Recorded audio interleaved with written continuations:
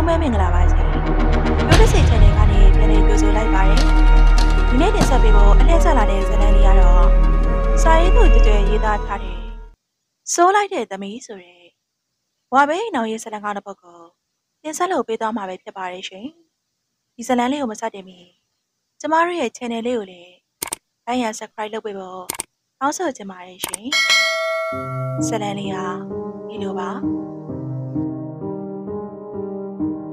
ဒါမှဖက်ဆက်မှာ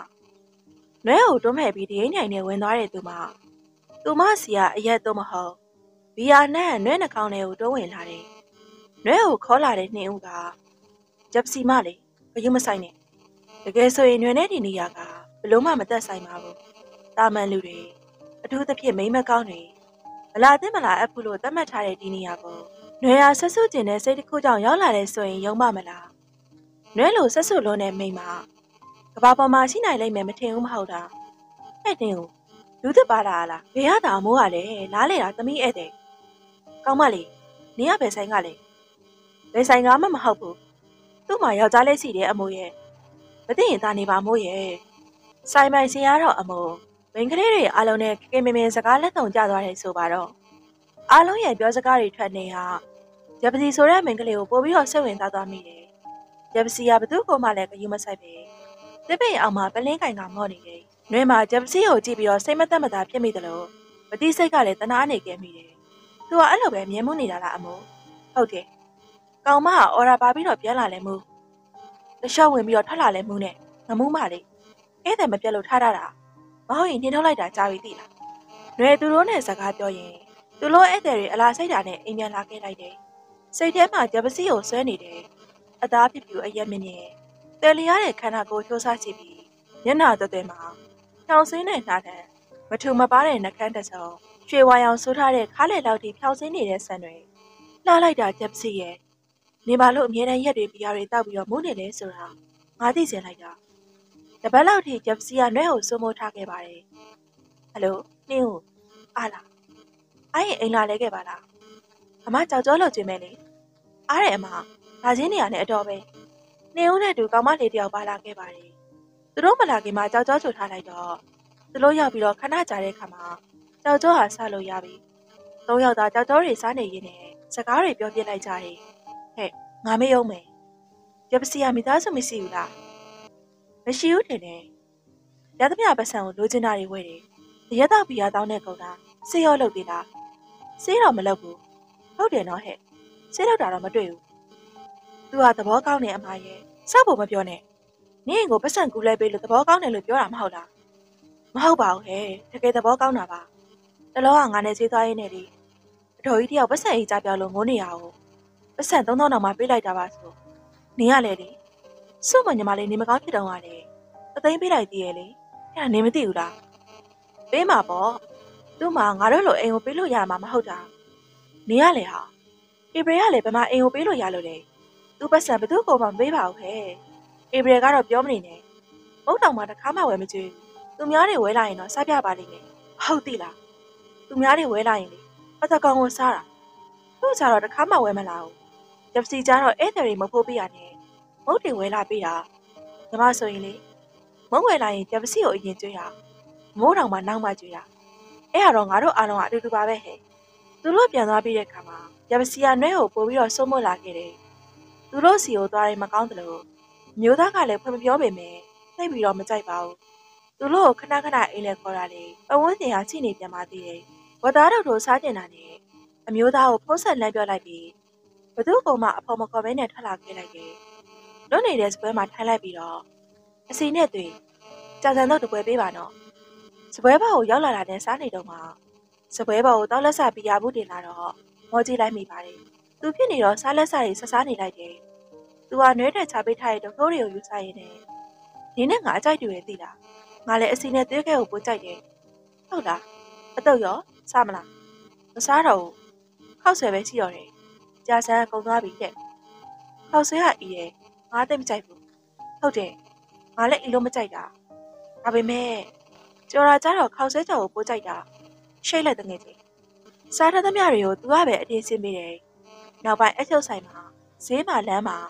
မုတ်ဆိုင်မှာခဏခဏတွေ့ပြီးတနေ့နွဲရဲ့မျိုးသားကသူ့ငယ်ချင်းတွေနဲ့လည်းဖက်ရည်ဆိုင်ထိုင်နေ။နွေရပန်းချန်ထဲဝင်ပြီးတော့လမ်းဆောင်နေတော့မှသူ့ကိုပန်းချန်ထဲကအစုံဆုံးခုံပေါ်မှာထိုင်ပြီးပလင်းကင်ပြီးတော့မော့နေတာမြင်လိုက်ရတယ်။နွေသူ့နာကိုရောက်သွားတော့ဟင်နင်းကုန်နေတယ်။သူကနွဲကိုကြည့်ပြီးတော့ပြုံးပြတယ်။နွဲသူ့ဘေးမှာဝင်ထိုင်လိုက်တယ်။ပြီးတော့သူ့လက်ကိုဆွဲယူလိုက်ပြီးဘာဖြစ်လို့လဲ။ ငါ့ကိုပြောပြလို့ရရင်ပြောပြလိမ့်နော်။သူကနွဲကိုစစ်စစ်ကြည့်ပြီးတွေးမိတာအရန်ခံစားရတယ်။နောင်တလည်းရတယ်။ငါအားလုံးကိုမေ့ပြစ်ချင်တယ်။ငါသိချင်တယ်။ဒါပေမဲ့ငါမှသူ့လိုတတိမရှိဘူး။တာမန်ရက်ွက်လေးဆိုတာထက်လက်လောက်လက်စားသမားတွေကြီးနေထိုင်တဲ့ရက်ွက်လေးတစ်ခုလဲနဲ့မှာဤသူတို့မိသားစုနေကြပါတယ်။ဤသူတို့အိမ်မှာအဖေရဲ့အမေဤသူတို့ရဲ့အဖွာအဖေအမေဤသူရဲ့အမွာညီမဤတော်နဲ့မောင်လေးရဲ့ မိသားစု6ယောက်နေကြပါတယ်။အဖေကမျိုးတွေကပွဲအောင်တစ်ခုမှာကုန်ထမ်းသမားလုပ်တယ်။အမေကတခြားရက်ွက်ထဲမှာလဲပြီးတော့ကုန်သိမ်းရောက်နေ။ဤသူတို့မိသားစုတွေကတခြားမိသားစုတွေလိုပဲမရှိမစားနေ့စဉ်ပုံမှန်လဲပတ်နေရင်ဤသူတို့ကရှစ်တန်းမောင်လေးကငားတန်းတက်နေချိန်မှာနှစ်တဝက်လောက်မှာပဲခင်းမြုပ်ပါဆရာမစာသိနေတဲ့ဆရာမရောဤသူတို့ပါအတန်လာရတကားပေါက်စီကိုကြည့်လိုက်တဲ့အခါမှာဤသူတို့အမေပါအမြဲသက်လက်တဲ့ဤတော်ဟာသူ့နေရာကနေချင်းချင်းထားလိုက်ပြီး အမေနာကိုသွားလိုက်တယ်အမေမဖြစ်လို့လေဆရာမလည်းအမေစီသွားလိုက်ပြီးဖိတ်စာစီတို့လာပါဟုတ်ကဲ့ပါဆရာမဤသူတို့ဖေဆေးရုံမှာမလို့လာခေါ်တာပါခင်းပြူပေးပါနော်ဘလို့ဖြစ်တာလဲအမရေမနက်ကမျိုးတဲကိုသွားတာကားပေါ်ကပြုတ်ကြတယ်လို့ပြောတာပဲဆရာမရေအိုးဖြစ်မှဖြစ်ရလေအမရေကဲကဲဤတော်တို့လိုက်သွားကြဆရာမနဲ့အခန်းထဲဟာတကယ်ချင်းတချို့ တနာတဲ့ကြည့်တွေကိုဤသူတို့ခံစားမိရဲ့အငါးကားပေါ်မှာဘာစကားမှမပြောပြကြပဲဆေးရုံကိုရောက်တော့အဖေနဲ့တူအလုံးစင်းတဲ့ဦးကြီးဟာအပြေးလာခဲ့တယ်အပြန်လာကြဦးကြီးခေါ်ရနောက်ကိုပြေးလိုက်သွားတော့တွန်းလဲတစ်ခုပေါ်မှာသွေးရည်နဲ့အဖေကိုတွေ့ရတယ်။ဆီယမတယောက်ကပြောတယ်။လူနာရှင်ရောက်ပြီလား။ဆီယမထိုးလာပေးတဲ့စာရွက်ပေါ်မှာအမေကကျက်စစ်ကလက်မှတ်ထုတ်ပေးလိုက်တယ်။ဆီယမဟာစာရွက်ယူပြီးတော့ထွက်သွားတယ်လို့အဖေကိုတင်ထားတဲ့တွန်းလဲကိုလည်း အမျိုးသားတစ်ယောက်ကတွန်းသားခဲ့ပါတယ်။အမျိုးသမီးတစ်ယောက်ကအမေနာကိုလာပြီးကောင်းတော်မှာငွေသိမ်းဖို့လာပြောတယ်။ဤသူတို့မှရောက်တဲ့နေရာမှာကြောက်ချထားသလိုမတ်တက်ရက်နေကြပြီ။ဘေးဘက်ဝန်းကျင်မှာလှုပ်ရှားသွားလာနေကြတဲ့သူတွေကိုလိုက်ကြည့်လိုက်ပြီးတယ်။အမေကောင်တာဘက်ကိုထွက်သွားပြီးတော့ညနေငယ်နဲ့ပြန်လာပြီးတော့ဦးကြီးကိုပြောလိုက်တယ်။ကျမတော့တည်ချင်တော့တာပါပဲကိုလှမြင့်ရဲ့။ဟာဘာဖြစ်လို့လဲနင်းရလဲ။ခွဲစိတ်ခါကအနည်းဆုံး3သိန်းလောက်ကိုကုန်ပါတယ်။ကျမတို့မှ3သိန်းမပြောနဲ့။3000တောင်မှလက်ထဲမှာမရှိဘူးလေ။ ဖြစ်လာမှတော့ဟာကြံဖန်ပြီးတော့လောက်ရမှာပေါ့။ဤသူတို့ဆေးရုံမှာဆောင်းခိုင်းထားခဲ့ပြီးအမေနဲ့ဦးကြီးကပြန်သွားခဲ့ပါတယ်။ဤသူတို့လည်းဖေကိုခေါ်သွင်းသွားတဲ့အခန်းစီကိုသွားပြီးတော့ထိုင်ဆောင်နေခဲ့တယ်။အချိန်တော်တော်ကြာတဲ့အခါမှာပတီအဖွေးသားနဲ့အဖေကိုတွန်းထုတ်လာကြတယ်။အခန်းတစ်ခုတွေကကလေးမော်ကိုတင်ပေးခဲ့တယ်။ဤသူတို့လည်းအဖေနောက်ကိုတောက်ချလိုက်လာခဲ့တယ်။အဖေကိုကလေးမော်ကိုတင်ပေးကြပြီးခဏကြာတဲ့အခါမှာအမျိုးသမီးတစ်ယောက်ရောက်လာခဲ့တယ်။သမီးတို့ကသူနဲ့ပါတော့လေ။ သမီးတို့အဖေပါ။အော်ဟုတ်လား။ခုနကကလေသမီးတို့အဖေကိုကလေးမော်ကိုတွန်းပေးတဲ့သူတွေကိုတစ်ဖက်ရည်ပိုးလေးပေးလိုက်အောင်နော်။ဟုတ်ကဲ့။အခုပတ်ဆက်ပါတယ်မလား။မများပါဘူးကွယ်။တရက်ကိုတစ်ထောင်လောက်ပေးလိုက်ပေါ့ဤသူတို့ကဘယ်လိုလုပ်ပြီးတော့ပတ်ဆက်စီပါလဲဤသူကချက်ချင်းပဲအခုတော့မရှိသေးဘူးတော့အမေလာတော့မှပဲလာယူပါနော်ဤသူတို့ကဆေးရုံဆေးကန်ရောက်ဖို့သူတွေမဟုတ်ပါဘူးအိမ်မှာနေမကောင်းပြီးတော့ဖျားနာထိခိုက်တရားရတာတွေကို ဗမာဆင်းမောင်တွေကိုအပြုတ်ပြီးတော့ကိုရက်ပြုတ်ရည်ချင်းပြုတ်ရည်နဲ့ပူလိုက်ကြတာအများပါတယ်အခုတော့ဖဲ့ကိုလူနာဆောင်အဖြစ်ဆေးရုံကိုရောက်နေရပြီတပင်ပေါ်အဖေကိုကြည့်ပြီးတော့စိတ်မကောင်းဖြစ်ရတယ်အဖေစတော့တစ်ဖက်ကမရှိတော့ဘူးလေအဖေကတော့မသိသေးဘူးနေစည်းစိန်နဲ့အိပ်ပျော်နေတော့မှာပဲညနေဆောင်မှောင်စားပြူလာမှအမေတို့ပြန်ရောက်လာခဲ့ကြတယ်အမေတို့ရောက်လာပြီးတော့မကြပါဘူးအဖေလည်းတတိပြန်ရလာခဲ့တယ်ခြေတစ်ဖက်ဖြတ်လိုက်ရတာသိသွားတဲ့အခါမှာအဖေကငိုတော့တာပါပဲ အမေနဲ့ဣသူတို့လည်းအဖေကိုတနာလို့ငိုကြတာပေါ့ဣသူကငိုခြင်းပင်မဲ့ညရင်မကြအောင်ကောင်းမော်ထားတယ်ကျောင်းကနေခွင့်နိုင်လိုက်ပြီးအမေနဲ့ဣသူတို့ဆဲအောင်မှာအဖေကိုအလဲကျဆောင်ရင်ငွေရရေးပါပုံတွေကိုဤသူတို့သိမြင်လာခဲ့ရတယ်။အဖေဆဲအောင်ကစင်တော့ဤတော်ကဂျိုင်းနာဝယ်လာပေးတယ်။အဖေကဒေါသတကြီးနဲ့လှုပ်ပြက်လိုက်တယ်။ငါ့ကိုစော်ကားတာလား။ငါနေတော့အဖေဆိုတာရောမမိကြသေးရဲ့လား။ဆဲုံနေရလူတွေအလုံးကဝိုင်းကြည့်နေခဲ့ကြတယ်။ ဤတော်ကဘာမှဖြစ်တယ်လို့ပုံစံမျိုးနဲ့ဂျိုင်းနာကိုသွားယူလိုက်တယ်။ရော့ရှေးချောက်ဖေးမှာထားရှိမှာကိုဘာသာကိုသွားချင်တဲ့နေရာကိုသွားနိုင်ပါလိမ့်။လူတချို့ကဤတော်ကိုကြည့်လိုက်ကြပြီ။ဒီစမ်းပါအောင်ဟေယိုမလေးမခန့်လုံနေတာမထင်ရဘူးနော်ဟုတ်ပါအဖေဖြစ်သူခင်ဗျဘယ်တော့တောင်မှစိတ်ထိခိုက်နေမလဲစသဖြင့်စကားတွေကပြောဆိုနေကြပါတယ်အဲ့ဒီချိန်မှာဂျိုင်းတောင်းနဲ့ဝင်လာတဲ့ထော်ကြီးတယောက်ကခြေတောင်းမရှိတဲ့သူကိုဂျိုင်းတောက်ပေးတာမှန်းနေတာပဲလေဘာတွေပြောနေကြတာလဲ ခလေးကသူ့ဖေအတွက်စဉ်းစားပေးရလေရှင်လည်းတေချာစဉ်းစားတတ်မယ်ဆိုရင်ရှစ်သမီးကိုကျေးဇူးတင်နေတယ်ဟုတ်တယ်နော်လူတော်တော်များများကလိုအပ်တာကိုလုပ်ပေးနေတဲ့သူကမလို့အပ်ပဲစာနာပြတတ်တဲ့သူကိုပဲအကောင်းမြင်တတ်ကြတယ်ဂျိုင်းတောင်းတဲ့အထော်ကြီးရဲ့စကားကိုထောက်ခံတဲ့သူလည်းရှိတယ်လို့အကြားပြောင်ပြည့်သူတွေလည်းရှိနေကြပါတယ်အဖေကတော့ဤတော်လှမ်းပေးတဲ့ဂျိုင်းတောက်ကိုယူပြီးဂျိုင်းတောင်းရဲ့ကူညီနဲ့မတက်ရက်ဖို့လမ်းလျှောက်ဖို့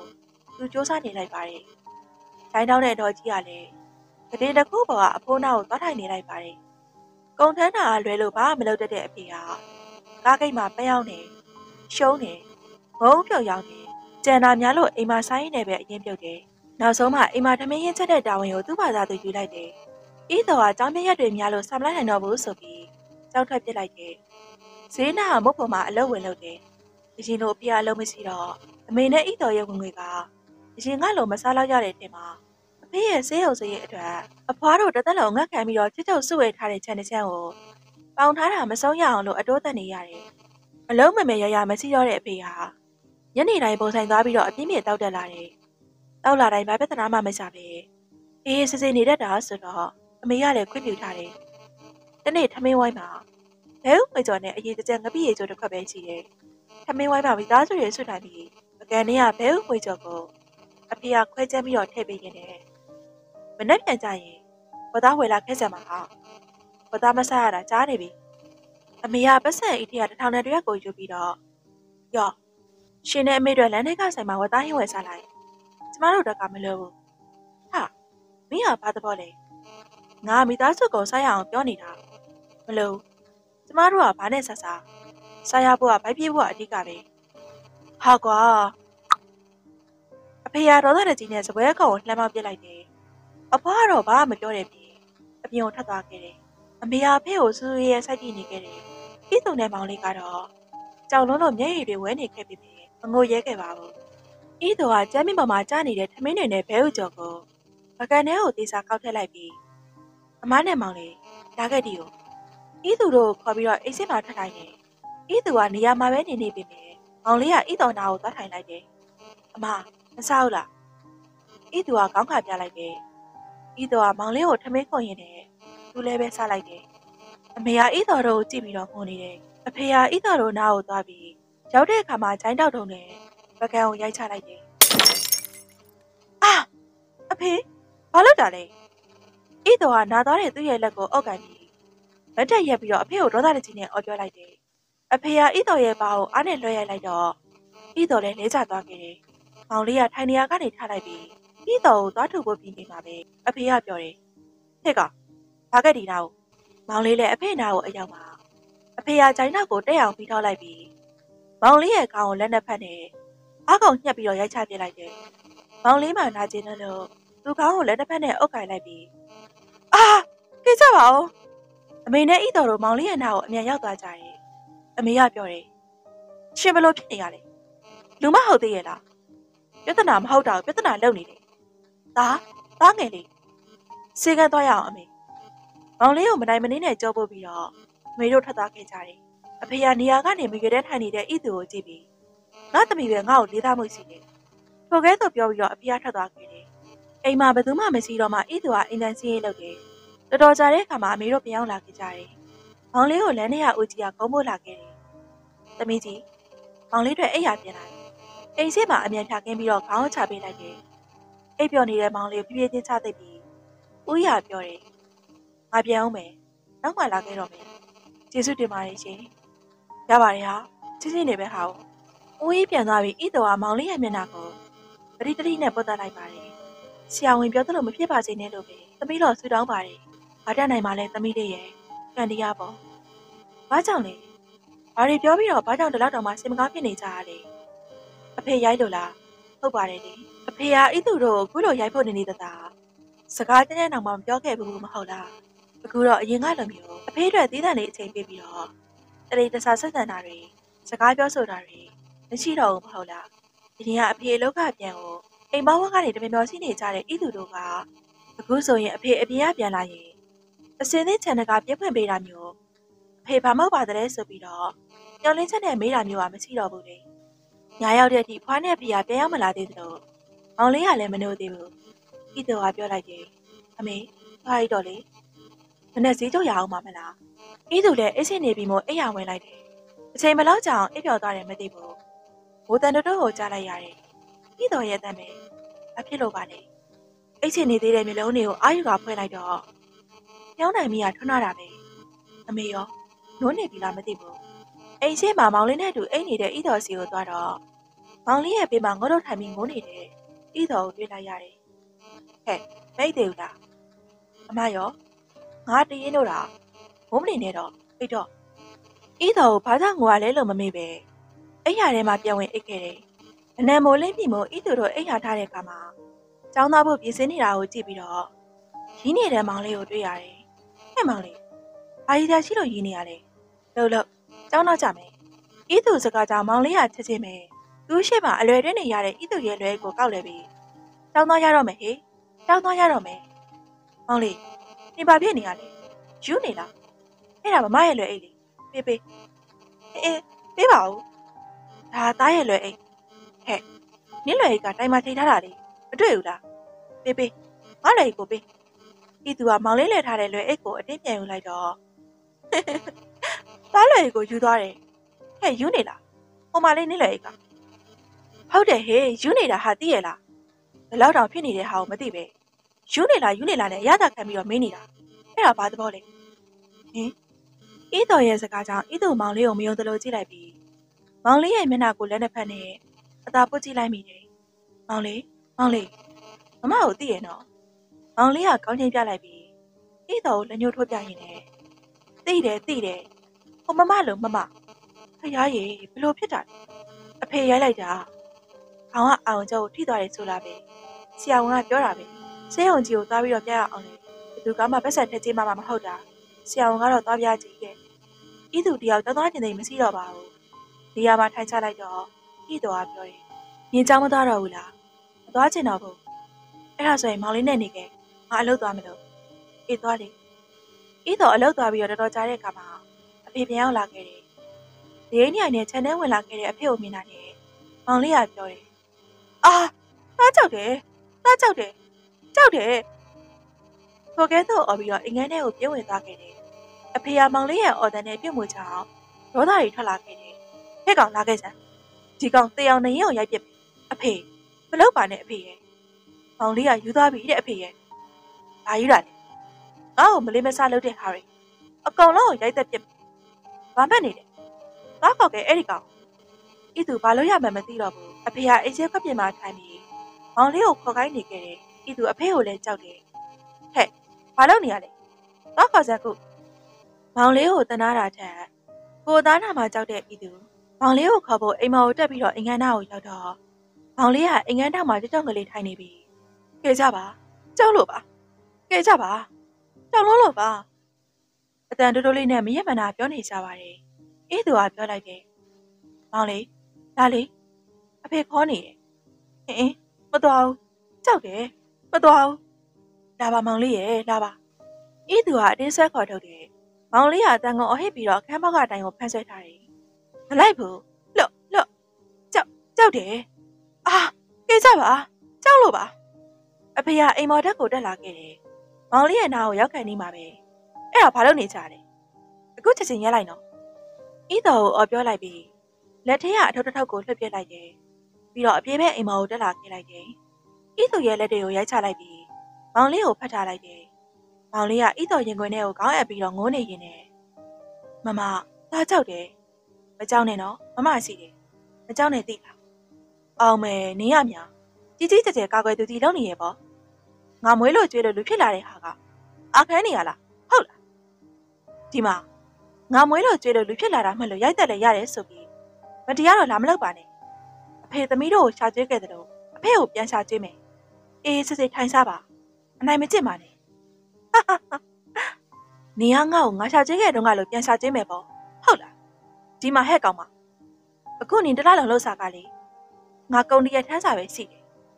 ငါရှာခဲ့တုန်းကနင်တို့မပူမပင်မျိုးခဲ့ရတယ်မှတ်လားအခုရော့ချူဤတော့ပတ်စံအိတ်ထဲကပတ်စံတွေကိုထွက်ယူလိုက်ပြီးအဖေကိုပေးလိုက်တယ်အဖေကပတ်စံတွေကိုရေတွက်နေပြီ ရပြီတရက်စာအဲဒီနောက်အဖေထက်သွားတော့ဟဲ့အဲ့ဒါနေလားသာထုတ်လာတာအကုန်မှတ်လားအဖေကိုအကုန်ပေးလိုက်တော့ဘယ်လိုလုပ်မလဲအကုန်မဟုတ်ပါဘူးနေရလေဘာမှမဘူးနဲ့မမသားပိုက်စားတယ်ဟုတ်ပါမင်းနေတာငါရောင်ပြီးတော့လှုပ်ပြစ်လိုက်တာဤတော့ခြံထဲမှာကြာနေတဲ့ထုတ်ကိုသားကောက်လိုက်တယ်ပြီးတော့ပကံတစ်ချက်ကိုယူလိုက်ပြီးဖက်တွေကိုဖြည့်ကြည့်လိုက်တော့မောင်လေးကဝမ်းသာအားရနဲ့လက်ခုပ်တီးပြီးတော့ပြောတယ်စားရတော့မယ်စားရတော့မယ်ဟေ့ ပကံလေးကခေါက်သေးကြော်တွေကိုအားရပါရယူစားနေတဲ့မောင်လေးကိုဤသူစိတ်မကောင်းဖြစ်စွာနဲ့ကြည့်နေပြီးပါတယ်ဤတော်ကလည်းကြည့်ပြီးတော့မျက်ရည်တွေကျနေခဲ့တယ်အမေပြန်လာတဲ့အခါမှာမောင်လေးအဆင်ပြေရလားသမီးတို့အမေဒါကစားနေတာစားအမေလည်းစားကောင်းတယ်သိမောင်လေးကအတင်းခွနေတာနဲ့အမေလည်းပါဇက်ကိုဟပေးလိုက်ပြီးစားလိုက်တယ်ကောင်းတယ်နော်အမေအင်းအင်းကောင်းတယ်သားလေးစားနော်နောင်နေ့ကစပြီးဤတော်ရဲ့အလုပ်ချိန်က ညနေ၄နာရီကနေည၁နာရီထိပြောင်းသွားခဲ့တယ်ဖေးအတွက်သတ်မှတ်ပေးထားတဲ့ပတ်စံကိုစပွဲပေါ်မှာတင်ပေးထားတယ်အဖေကပတ်စံယူပြီးတော့တနေ့ကုန်ထွက်သွားတယ်ညမိုး၆တော့မှပြန်လာတယ်ပြီးရင်အေးစေးကပြစ်မှာအိတ်လိုက်နဲ့နေလိုက်တယ်လို့အဖွားကလည်းတပတ်တခါမှာစံစီပတ်စံနဲ့ချော်ပြီးသားဝတ်တွေကိုယူတယ်မလျှော်ရသေးတဲ့ဝတ်တွေကိုထားခဲ့ပြီးတော့သူနဲ့ခင်တဲ့သီလချင်းကျောင်းမှာသွားနေခဲ့တယ်ဤသူဟာကျောင်းဆက်တဲ့ချင်တာကြောင့်ကျောင်းမထပ်ပဲဆက်နေခဲ့တယ်အိမ်မမောင်လေးကိုတယောက်တည်းထားလို့မရတာကြောင့် ဤသူဟာအမေကိုအရင်လိုဈေးလည်မရောက်ခိုင်းတော့ပဲအိမ်ရှိမှာအိမ်ဆိုင်လေးတည်ပေးခဲ့တယ်တာမန်ရက်ွက်လေးမှာဈေးတန်ရမရှိတော့ဈေးအောင်ကောင်းတယ်ဈေးကိုရောင်ဖို့မင်္ဂလေးတယောက်ကိုအဖော်ခေါ်ထားရတယ်မောင်လေးကိုဆေးအောင်သွားပြတော့လေပြန်ကောင်းလာဖို့လမ်းစာမမြင်တာဆိုတော့ကန်တစ်ခုလိုသတ်မှတ်လိုက်ကြပါတယ်ဤတော့ဘာလုပ်နေလဲဆိုတာသိပေမဲ့အမေကအဆနှုတ်ပိတ်နေခဲ့တယ်ဤသူဆယ်တန်းနှစ်မှာကြီးစားရတယ်ဤသူတို့ရက်ွက်ထရတော့မဟုတ်ဘူးသူလဲဆယ်တန်းမှာပဲကျောင်းမှာတွေးစားတယ်ဆိုပါတော့ အမေပေးတဲ့မုတ်ဖိုးတွေကိုစုပြီးတော့ကျောင်းပြေးတယ်သူနဲ့တူမျိုးတဲ့ကိုရှောက်လည်နေရတာကိုဤသူကအရန်ကိုပျော်ရွှင်ခြင်းနဲ့နေခဲ့တယ်ဤတော်ကကျူရှင်ဘိုးနဲ့ကျောင်းစာတွေလိုအပ်တာတွေဝယ်ဖို့ပေးလာတဲ့ပတ်စံတွေကိုသူနဲ့တူစင်တူအင်ဂျီတွေဝယ်ဝတ်တယ်ရုပ်ရှင်တွေလိုက်ကြည့်တယ်သူ့အတွက်လိုအားတွေဝယ်ပေးနေတယ်ကျင်းတဲ့ဆရာအကောင်းဆုံးချိန်ဖြစ်နေခဲ့တယ်အမေနဲ့မောင်လေးကိုလည်းမင့်နေတယ်လို့ဤတော်ကိုအားနာဖို့လည်းသတိမရခဲ့ပါဘူးစာမေးပွဲဖြေကန်ဒီမှာသူကစာအုပ်ပဲအာရုံစိုက်ပြီးဤသူကိုပြစ်ထားသလား ဤသူမှာတော့သူနဲ့ပတ်သက်ပြီးတော့အခြေယူလည်းဖြစ်ဘာစားမှလည်းကြက်လို့မရဘူးတနေ့တနေ့စိတ်ကိုရင်ကဘာထဲမှာမျောနေလေတော့သူကဆယ်တန်းကိုဘုံလုံးတစ်ခုနဲ့အောင်ပြီးဤသူကဆယ်တန်းကြားခဲ့တယ်ဤဟာဆယ်တန်းကြားတော့လည်းဘာဖြစ်လဲအမငယ်ပါနဲ့အကြီးကဆယ်တန်းအောင်မမလို့လိုက်တိဖို့ပဲလိုတာကိုကိုကဘွဲရပြီးတော့ရာကြီးတယောက်ဖြစ်သွားရင်ဤဟာအရာရှိကတော့ဖြစ်မှာပဲလေဘာလို့စိတ်ပူနေရလဲနော်ဤဤသူတယောက်ကြီးစားဦးအခြေဦးဖြစ်တဲ့သူ့ရဲ့စကားတွေကြောင့် ဆယ်တန်းကြတာကိုဝမ်းနဲ့ရကောင်းမှမသိပျော်ရွှင်နေခဲ့ပါတယ်ကြော်ဖြစ်ဖို့ရေသူ့ကိုပါရမီဖြည့်ဖို့ကြိုးစားမယ်လို့ပေါ့။ရင်ဆယ်တန်းပြန်ဖြစ်မှာဖြစ်မှာပေါ့။ဘာပဲပြောပြောလေဆယ်တန်းအောင်ထားတယ်ဆိုရင်အဝေးတင်ဆိုလာတက်ပြီးတော့ဖွဲရလို့ရတယ်တဲ့။နောက်ပြီးတော့နင်ဆယ်တန်းအောင်တာနဲ့ရုံးမအလုပ်ရဖို့ငါပြောထားတယ်သီလား။ရုံးမအလုပ်ရင်လည်းဘွဲရရင်လည်းယာလူတော့မြန်နေတဲ့။မစိတ်ဝင်စားဘူး။နင်ကမတော်ရသေးတဲ့နင်းလေကြောင်စိတ်ဝင်စားနေရမှလား။ မယုံမစီနဲ့။သူတို့တစ်မျိုးလုံးကပိုင်လုံးနေ။နီးတက်တက်မှုန်နေ။ပိုင်စားခံထိမယ်သိလား။ဤတော်ကိုဤသူကလုံးဝမကျေနပ်တယ်လို့အမေကိုလည်းမကျေနပ်ဘူးသူစားတော့ဘလောက်ကောင်းနေလို့လဲသူလည်းကျူစားနေရပဲမဟုတ်ဘူးလားရက်ွက်ထဲမှာလည်းသတင်းတွေကိုပြန်လို့အမေကလည်းတအိမ်လုံးရဲ့စိတ်ကိုထောက်ပံ့ပေးနိုင်လို့ဤတော်ကဘာပဲပြောပြောသမီးသဘောသမီးစင်ပြင်းပြီးတာပဲအဲ့လိုပဲပြောနေခဲ့တာတကယ်ဆိုရင်ဤသူကအကြီးအကြီးကိုဆရာလုပ်နေတာဖြစ်တင်တာ ဤတော်ရဲ့စကားကိုနားမထောင်ပဲဈေးထဲမှာရရအလုပ်ကိုဝင်လုပ်တယ်လာကုံလာစားထုတ်တော့အမေကပြောတယ်သမီးလာစားရောဟင်အမေကလိုသေးလို့လားသမီးရဲ့လိုတာတော့ဘယ်ဟုတ်ပါမလဲညီမလေးပဲအိမ်စိတ်ကိုရှာပေးနေရတာသမီးကနည်းနည်းပါးပါတော့ကုသိနာပေါ့အမေသမီးကငွေစားတော့တယ်လေသမီးကမတော်ဘူးအခုရတဲ့လစာကလည်းတော့တောင်မှမလောက်ဘူးဤသူကရတဲ့လစာတွေဟာ သူ့အတွက်လိုအပ်တာတွေကိုဝယ်ပေးဖြစ်တယ်တနေ့အဖေမိမတယောက်လက်ဆွဲခေါ်လာပြီးဤသူတို့ကိုအိမ်မောကနေနေကြတယ်အမေနဲ့ဤသူကဘာလို့ရမလဲမသိအောင်ဖြစ်နေချိန်မှာဤတော်ကပြောတယ်အဖေကနောက်မိမယူပြီးတော့သမီးလို့နှိမ့်ချတာနော်အဖေကိုသမီးလို့ကပတ်ဆက်ပေးနေတာသမီးလို့ဘာသာနေရရင်တော့အဖေကိုပတ်ဆက်မပေးနိုင်တော့ဘူးနော်ထိုကဲသို့ပြောလိုက်ပြီးတော့အနောက်ဘက်လမ်းမှာအင်္ဂါနေဖို့စီစဉ်လိုက်ကြတယ်အဖွားကတော့ဤသူတို့နောက်ရင်ထိလိုက်လာပြီးတော့လက်ခါယူတယ် အဝတ်တွေလျှော့ခိုင်းနေတော့မှာပဲဤသူကပြောတယ်ဖွားအရန်လွန်နေတော့သူ့ချက်လည်းပြန်ရေးပေးပြီးပြီအခုသူ့အိမ်မှာနေရလည်းမဟုတ်ပဲနဲ့ဒါပြီးတော့အနိုင်ကျင့်နေပြန်တယ်အနိုင်ကျင့်တယ်လို့လည်းမဟုတ်ပါဘူးသမီးရဲ့အဖွားမှာအမေတို့ပဲရှိရလေနောက်ပြီးတော့သူတယောက်စာလုပ်ပေးရတာကလည်းအပန်းမကြည့်ပါဘူးကွယ်ဟုတ်တာပဲအမားကလည်းသူများတွေကိုတော့မှကိုမှစီရင်ပေးနေရသေးတာကို့ပါပဲဟာပေးရကြွေးရမှာပေါ့ဤတော်ကဝင်ပြောလိုက်တယ်ဟုတ်ပါတယ်အေးဟုတ်ပါတယ် ကျူစားတဲ့သူတော်ကောင်းမကြီးရဲ့ဤသူကထိုကဲတော့ပြန်ပြောလိုက်တယ်ဟဲ့သမီးကြီးညီမလေးကိုဘယ်လိုပြောလိုက်တာလဲမှန်တာပြောရလေနေနေရကျေးဇူးကမ်းလာကြည်လားသူချာကျွေးရဲ့ထမင်းကိုစားနေပြီးတော့ဘာလဲအမေကသူ့ကိုထိလို့နားနေရလားသမီးကအမှန်ကိုပြောနေတာအမေရဲ့ဟုတ်တယ်နင်ကအမှန်ကိုပြောနေတာဒါပေမဲ့ငါနင့်ကောင်လို့သူများစီကအလကားတက်တက်ကျူစားတာမဟုတ်ဘူးတန်ရာတန်ကြီးပြန်ပေးထားတာ ငါရှာတဲ့ငွေတွေကတမတမက်ကြတယ်ငါဘက်ကရောင်းကုန်ဆိုရင်ဈေးဖြတ်ပြီးသူတို့ကကြိုက်လို့တန်လို့ဝယ်တာကျူစားတာမဟုတ်ဘူးငါဘယ်သူစီကားမှမချူခဲ့ဘူးတန်ရာတန်ကြီးပဲအယောင်းဝယ်လုပ်ခဲ့တာနောက်ပိုင်းမှာဣသူနဲ့အိမ်သားတွေနဲ့စကားပြောဆိုမရှိဖြစ်သွားခဲ့ကြတယ်ဒါပေမဲ့အိမ်မှာနေပြီးတော့အိမ်မှာစားတယ်ရသမျှလက်စာမှန်သမျှကိုသူ့တွဲကြည့်ပဲသူ့ဟိုပံမိုးပေးကမှာနောက်တစ်ချိန်မှာဣသူရဲ့ဘဝအေးချမ်းမယ်ချက်ချင်းသက်သာနေနိုင်မယ် တဖြည်းဖြည်းနဲ့သူ့ရဲ့လိုအပ်ချက်တွေများလာတော့ဣသူအလုပ်ပြောင်းလိုက်ရတော့တယ်သူ့ကိုပြောတော့လေသူကသူ့ဘွဲရတာနဲ့အလုံးမခိုင်းတော့ဘူးတဲ့လေစားတော့ဆိုင်မှာစပွဲထုတ်လို့ရင်တက္ကသိုလ်ကျောင်းသားကြီးဖြစ်တဲ့သူ့ကိုစိတ်မချလုံးတော့သူကယုံကြည်အောင်တက်တည်ပြမတဲ့လေဣသူကသူ့ကိုပိုင်ဆိုင်ရတာလားသူကဣသူကိုပိုင်ဆိုင်ရတာလားဤသူတကယ်မသိခဲ့ဘူးဤသူသိတာကဤသူရဲ့ချစ်သူခက်တဲ့တော်တက္ကသိုလ်ကျောင်းသားကဤသူလိုစားသောက်ဆိုင်စပွဲထိုးသမားနဲ့ တဲခိုကန်တစ်ခုရဲ့အခန်းထဲမှာအချစ်ကိုတက်သေးပြတယ်ဆိုတဲ့ကောင်းစဉ်နဲ့ရှင်ခုံတန်ကြီးထပ်ထုတ်ကြခဲ့တယ်ဆိုတာကိုပါဤသူသူနဲ့တူမကြခဏဆုံရင်အချိန်တွေကုန်ဆုံးနေခဲ့ပါတယ်ဤသူရှာလို့ရသမျှဟာသူ့အတွက်ကြည့်ပဲတနေ့ဤတော်ကပြောတယ်ငါနင်းကိုပြောကြရှိတယ်ဘာလဲပြောနင်ငါနဲ့အတူလိုက်လို့မလားငါ့ကိုနင်းလိုများခင်းနေလားတေတောင်အဲ့ဒီလောက်ကိုမလုပ်ဘူးအဲ့ဒါဆိုရင်နင်းကောင်နဲ့သွားနေရတယ်ကိုချော့လိုက်တော့ငါဘာသာငါသွားရရလေအဲ့ဒါနင်းနဲ့ပါဆိုင်နေ နင်ကိုဒီမသိသေးဘူးလားနင်းစီကပတ်ဆက်လဲရသမျှကိုအကုန်ယူတယ်နင်းကိုလည်းအမျက်ထောက်နေသေးရဲ့လေအဲ့ဒါငါကိစ္စပါနင်းနဲ့မဆိုင်ဘူးငါနင်းလို့မဟုတ်ဘူးဟုတ်တယ်နင်ကငါလို့မဟုတ်ဘူးနင်ကကိုယ့်ကိုတန်မိုးမထားဘဲနဲ့အလက်ကားလိုက်ပေးနေရလေငါကတော့ငါ့ကိုငါတန်မိုးထားလို့ဘယ်သူနဲ့မှအလက်ကားလိုက်ပြီးတော့မအိပ်ပေးနိုင်ဘူးနောက်ပြီးတော့ငါရှာသမျှပတ်စံတွေရလဲလေငါမိသားစုကလွှဲပြီးတော့ဘသူကမှလက်ကမပေးနိုင်သေးဘူး ငါရှာထားတဲ့ပတ်စံတွေကတန်မိုးရှိတယ်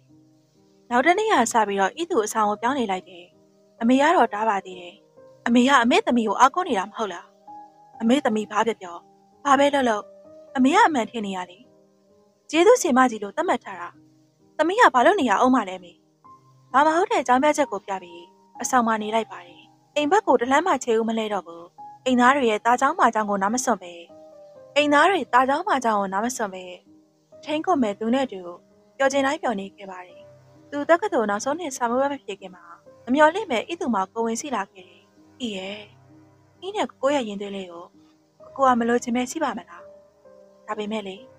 ဤနဲ့ကိုကိုကမင်္ဂလာမဆောင်ရသေးဘူးလေဤကိုကိုကိုကသူတို့သမီးဝတ်စုံလေးနဲ့လှလှလေးမြင်ကျင်သေးတာခုချိန်မှာကိုကိုကအေးကိုယွန်းလိုက်ရင်လေကိုကိုကအလုံးမရှိတော့မင်္ဂလာဆောင်လည်းဖြစ်တယ်လို့ကျင်းပရမှာအေးလည်းပို့ပြီးတော့ပြင်မဲ့ရမှာ ကိုကိုမကြည့်ရဘူးချင်းရသူရဲ့အပြောချက်ကြော်တွေကြောင့်လူလောကတွေကိုဝင်ဖို့ကြိုးစားနေတဲ့ဤသူရဲ့ပထမဆုံးရင်သွေးလေးကိုလက်တဲ့ကူကြီးနဲ့ဖျက်ချခဲ့ပါတယ်ဒီလိုနဲ့ပုံမှန်တိုင်းနေလိုက်ရင်သူပွဲရပြီးတင်တိုင်းမျိုးစုံတက်ရင်ကုမ္ပဏီတစ်ခုမှအလုပ်ရတယ်အလုပ်ရပြီးတဲ့အခါမှာဤသူကမင်္ဂလာဆောင်ကြဖို့ပြောတယ်ကိုကိုကခုမှလက်ထောက်မန်နေဂျာဖြစ်ခါစားပဲရှိသေးတာဆိုတော့အဆင်မပြေသေးဘူးဤရဲ့ဤရလိမ့်မပါတယ်ကိုကိုကိုနားလဲပြီးတော့ဤသူရဲ့နဖို့ခပပွားလေးနဲ့ရင်ပြောတဲ့သူစကားတွေကို ချစ်စိတ်ဆိုတဲ့စိတ်တစ်ခုတည်းနဲ့ပဲအလုံးစုံယုံခဲ့မိပါတယ်သူကအလုံးဝင်နေပြီဖြစ်ပေမဲ့ဤသူကသူ့ကိုလိုအပ်တာတွေကိုဝယ်ပြီးသုံးဖို့လည်းပေးနေတော့မှာပဲအခါတလေသူဝဲလာပေးတဲ့မုတ်တွေစညက်တွေအဝတ်တွေကိုလက်ခံရတဲ့အခါမှာဤသူကိုတကယ်ချစ်တာဆိုပြီးတော့ပိုယုံခဲ့မိတယ်အဆောင်ကိုဤတော်ရောက်လာချိန်မှာဤသူကအပြင်ရောက်နေတာမှမတွေ့လိုက်ပါဘူးလူကြုံမှားခဲ့တယ်အမေနေမကောင်းဘူးတဲ့အမေနေမကောင်းတာဤသူကဘာလို့ပေးရမှာလဲ ဆီယာမကြီးသူဤတော်တရားလုံးရှိနေတာပဲလေအမေကဤသူကိုတတိရပါမလားဤသူအမေစီကိုမသွားခဲ့ဘူးဒီလိုနဲ့သူ့မွေးနေ့ကိုရောက်တော့စားသောက်ဆိုင်တစ်ခုမှမွေးနေ့လုပ်ပေးဖို့ဆုံးဖြတ်လိုက်ပြီးအားလုံးကိုသူမသိအောင်စီစဉ်ထားလိုက်ပါတယ်သူ့ကိုတော့အဲ့ဒီနေ့မှာစားသောက်ဆိုင်မှာထမင်းလိုက်ကြပါဆိုပြီးတော့ပြောထားလိုက်တယ်ချိန်ထားတဲ့ဆိုင်အောင်ဤသူကကြောက်ရောက်နေခဲ့ပြီးသူကတော့ဆိုင်မိတ်ချိန်ထိရောက်မလာခဲ့ပါဘူးဤသူရဲ့စိတ်တွေကလေးနေခဲ့ပြီးသူ့ကိုစိတ်ပူနေခဲ့မိတယ်အဆောင်ရှိကိုမရောက်ခင်မှာသူ့ကိုတွေ့တော့သူ့ နာကိုပြေးသွားလိုက်တယ်ကိုကိုဘာဖြစ်လို့မလာတာလဲဘာဖြစ်လို့လဲနေမကောင်းဘူးလားစိတ်ဆိုးဒေါသထွက်နေမဲ့အစားသူ့ကိုစိုးရိမ်နေတဲ့ဤသူကိုသူကရုတ်တရက်အံ့ဩသွားပေမဲ့ချစ်ချင်းပဲမျက်နှာကိုပြင်လိုက်ပါတယ်ဟုတ်တယ်ဤရဲ့ကိုကိုခေါင်းနေကိုက်နေလို့ဆေးတော့ပြီးတော့ခဏအိတ်လိုက်တာအဲ့ဒါကိုမှသတိထားမိတယ်သူမူးနေရပဲဒါပဲဖြစ်ဖြစ်ကိုဤသူစီကိုသူရအောင်လာတာပဲလေဤသူအဆောင်မပြန်တော့ပဲ သူနဲ့တူတဲဟုတ်ကံမှာညာအိတ်ဖြစ်လိုက်ပါတယ်သူ့ကိုလည်းပြောလိုက်တယ်ကိုကိုအခုတလောကိုကိုကိုယူဆိုင်တော့ဘာဖြစ်လို့လဲမသိဘူးဤစိတ်ထဲမှာတမျိုးကြီးပဲသိဤသူရဲ့စကားကိုကြတော့သူကပြောပြီးတော့ဤသူကိုရင်ဝင်ထဲကိုဆွဲပတ်ထားရင်ချက်လိုက်တာဤရဲ့နောက်နေ့မနေ့အဆောင်ရောက်တော့တငယ်ချင်းဖြစ်သူကပြောတယ်ဤသူညီမနေ့ကဘယ်တွေကိုသွားနေရလဲညီညမနေ့ကိုလာစားတယ်နေ့မရအခြေအနေမကောင်းဘူးတဲ့ဖះရေ အမေကဘာလို့ရုတ်တရက်ကြီးအခြေအနေမကောင်းတာလဲတတချင်းခဏမှပဲစိတ်ပူသွားခဲ့မိတယ်စောက်ဖို့ရငါမသွားလို့လိမ်ပြီးတော့လာခေါ်တာကြည့်နေငါသူတို့ထက်ပိုပြတ်တယ်ဆိုတာသိအောင်နေပြမယ်ငါကိုကိုနဲ့မင်္ဂလာဆောင်တော့မှသူတို့ကိုဖိတ်ပြီးတော့ပမြုံကြီးကြည့်ပြမယ်ငါ့ကိုအထင်သေးတဲ့အမေနဲ့တွေ့လိမ့်မယ်ဟွန်းဤသူတယောက်အိမ်ကိုမပြန်မယ်ပုံမှန်အလုပ်လုပ်နေတာကိုတွေ့တဲ့အခါမှာတငယ်ချင်းကပြောတယ်ဟဲ့နင့်မေနေမကောင်းတာကိုအိမ်မပြန်ဘူးလားမပြန်ပါဘူးဘာလို့ပြန်ရမှာလဲ ငါ့ကိုမနေသေးခြင်းလို့နှင်းချထားကြတာလေတကယ်တော့ဤသူဟာကိုယ့်တဘောနဲ့ကိုဆင်းလာပြီးအမေနဲ့ဤသူကိုအများမြင်မှာမကောင်းတဲ့သူတွေဖြစ်နေခြင်းတာတငယ်ချင်းကကောင်းခါပြပြီးတော့သူတို့နေကြလို့ဆင်းလာရလဲဆိုလေအခုနေ့ကိုပြန်ခေါ်ချင်နေကြတာလေဘာဖြစ်လဲကိုယ့်ရင်ကိုပြန်လိုက်ပေါ့ကဲလို့နင်းညမပြောသလိုမျိုးနင့်မိကတကယ်နေမကောင်းဖြစ်နေရင်ဘယ်လိုလုပ်မလဲတငယ်ချင်းရဲ့စကားကိုနားမထောင်ပဲနေလိုက်ရင်လည်းတစ်ဖက်ကြမှာဒီနေ့သူနဲ့ချိန်ထားလို့ရေချိုးလှပြင်ပြီးအပြင်ထွက်ဖို့ပြင်တော့အ ဆောင်တကောက်ကမှငိုထားတာများလို့ငိုအိနေတဲ့မျက်နှာနဲ့ဣတော်ဟာဣသူကိုမြင်နေဆိုရင်ပဲပူထူသွားတဲ့ဘားတစ်ဖက်ကိုပုတ်လိုက်ရင်ဣတော်ကိုပြောလိုက်တယ်။ဘာဖြစ်ဣတော်ဟာဣသူကိုနောက်ထပ်တစ်ချက်ထပ်ပြီးတော့ရိုက်လိုက်တယ်။သူ့လက်ထဲကဆာရက်ကိုပြစ်ပေးလိုက်တယ်။ပြီးတော့ကောင်မနေနာယူပြီးအမေနေမကောင်းဖြစ်တာတော့မှလာမတွေ့နိုင်ဘူးပေါ့လေ။ဟုတ်လား။ငါနင့်ကိုမပြောဘူးလို့ပဲနေတာပဲ။နောက်ဆုံးချိန်မှာကြောလိုက်ရမှာဆိုလို့လာခဲ့တာ။ ဟင်ဤတော်ပြပေးတဲ့စာရက်ကိုကောက်ယူကြည့်လိုက်တော့ဤသူတစ်ခုလုံးလီဟာနေတဲ့ကိုလင့်သွားပြီးဆက်စားလေသားသလိုဖြစ်သွားခဲ့ရတယ်။ဒီနေ့ကအမေဆုံးတာ၃ရက်မြောက်နေဖြစ်ပြီးညနေမှအမေရဲ့ကြံခဲ့တဲ့ရုပ်ကလပ်ကိုမိသကြိုတော့မှဖြစ်ပါတယ်။ဤသူအမြင်တွေဝေဝါးသွားခဲ့ပြီးအဲဒီနောက်မှာတော့ဟဲ့ဟဲ့ဤသူဤသူဘာဖြစ်တာလဲ။လာကြပါအောင်ဤသူလဲကြသွားလို့အမေဤသူရဲ့ခေါ်တန်းကြောင့်အမေကလှည့်ကြည့်တယ်။ သမီးကိုခွဲလွတ်ပါအမေရဲ့။အမေနေမကောင်းတာကိုတကယ်လို့မထင်ခဲ့လို့ပါ။သမီးတကယ်ကိုတောင်းပန်ပါတယ်။သမီးတောင်းပန်ပါတယ်အမေရဲ့။အမေကိုဒူးထောက်ပြီးတော့တောင်းပန်နေပေမဲ့အမေကတော့ဤသူကိုတခါမှမမြင်ဘူးတဲ့သူတယောက်လိုကြည့်လိုက်ပြီးအဲ့ထွက်သွားခဲ့ပါတယ်။အမေအမေဤသူဤသူတတိထားတရက်လုံးတတိလစ်နေတာလေ။ဤသူအမေကိုနောက်ဆုံးချိန်တွေ့ခွင့်မရလိုက်ဘူးပေါ့။ညနေဆောင်တော့ဆဲုံကနေခွင့်တောင်ပြီးဆင်းခဲ့လိုက်တယ်။ တငယ်ချင်းနဲ့တူအမေရင်ကိုရောက်တဲ့အခါမှာဤတော်ကပြောတယ်။ဘာလဲ။အမေကြံခဲ့တဲ့ပစ္စည်းတွေကိုအမွေလာခွဲတာလား။ပတ်စံနေရွှေတော့မရှိဘူးနော်။အမွေလိုချင်နောက်တစ်ပတ်မှလာခဲ့။မောင်လေးကသူ့ဘာသာသူတယောက်တည်းစကားတွေပြောနေပါတယ်။ဤသူတယောက်အိမ်မှာအမေရက်လက်ထင်နေလိုက်ရင်ဤတော်နေမကောင်းဖြစ်နေတာကိုသတိထားလိုက်မိတယ်။အိမ်မှာထမင်းချက်ကျွေးတဲ့အတော်ကြီးကပြောတယ်။နင့်မေလည်းတည်သွားတာကောင်းပါတယ်ဟဲ့။မဟုတ်ရင်လေဤတော်ကအရန်ကိုပင်မနေရအောင်ပါ။ သူယောဂကပြောင်းမှလည်းမဟုတ်ပါဘူး။အမေကဘာဖြစ်တာလဲတော့။တဲ့ရင်ကင်းစားလေ။နင်လိုက်တာလည်းပြောမနေပါနဲ့တော့ဟဲ့။ငါမလေးဤတော်ပေးတဲ့ပတ်စံကမလောက်ဆရာကြီးမလို့တော့သူ့ကိုလှုပ်ပေးနေရတာ။သူ့ကိုတန်စီးလှုပ်ပေးပြီးတိုင်းလေ။ငါမှထမင်းမစားနိုင်ဘူးသိလား။ဤတော်အရန်ကိုပင်မခဲ့တာပဲ။အခုမေမရှိတော့ပေမဲ့မောင်လေးကိုစားချရအောင်မယ်လေ။ဤသူလည်းကူရမယ်။ဤသူအဆောင်ပြန်ပြီးတော့အဝတ်တွေကိုပြန်ယူလိုက်တယ်။တတဆက်တိုင်သူနဲ့တွေ့တဲ့အခါမှာ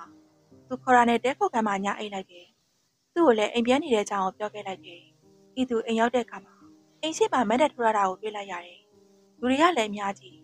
ရဲတွေကိုလည်းတွေ့ရတယ်။ဘာဖြစ်တာပါလဲ။ဤသူအငှားကားပေါ်ကနေဆင်းလိုက်တယ်ဆိုရင်ပဲ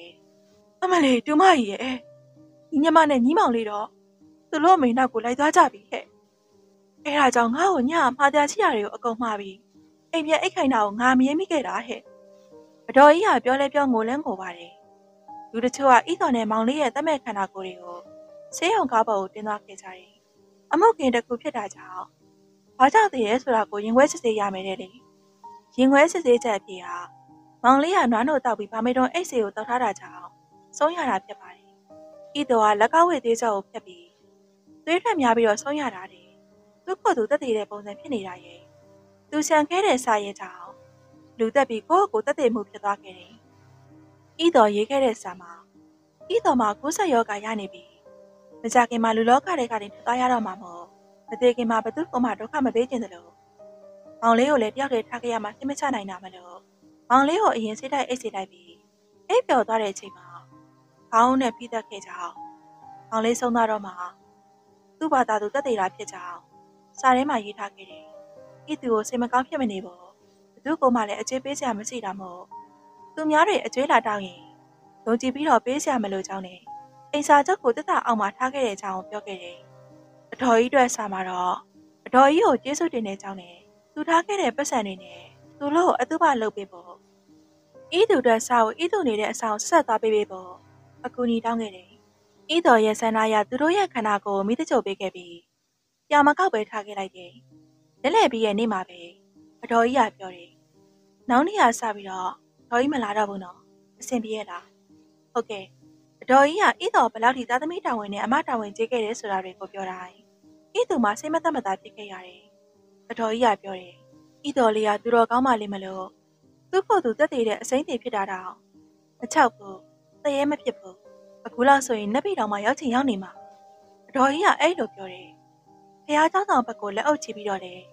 မိဘတွေကိုမညို့မငြိမ်